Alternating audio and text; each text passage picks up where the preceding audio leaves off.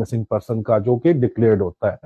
चालीस फ़ीसद लोग आपके जो हैं उनके अंदर जो ग्रे डिक्लेयर या ब्लैक डिक्लेयर होता है आपका तबका ये आईएसआई की अपनी ज़ुबान है मैंने कभी आईएसआई में नौकरी नहीं की हुई इसलिए मुझे माइंड मत कीजिएगा अगर मैं आपको एग्जैक्ट होना बता सकूँ। जिन लोगों को ये कहते हैं कि जी ये हार्ड कोर दहशत गर्द कंसिडर किया जाता है जिन्होंने आपके खिलाफ आपकी जो, जो पाकिस्तान की स्टेट की फोर्सेस को नुकसान पहुँचाया होता है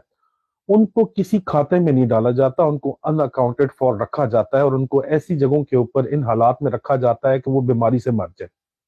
जो बीमारी से नहीं मरते, उनको अक्सर कुछ कुछ अरसे बाद आपको पाकिस्तान की स्टेट इंस्टीट्यूशन के ऊपर जो है, वो कोई बम ब्लास्ट होता है, हमला होता है तो उसके फ़ौरन बाद खबर चलाई जाती है कि जवाबी कार्रवाई के अंदर इतने दहशतगर्द मारे गए।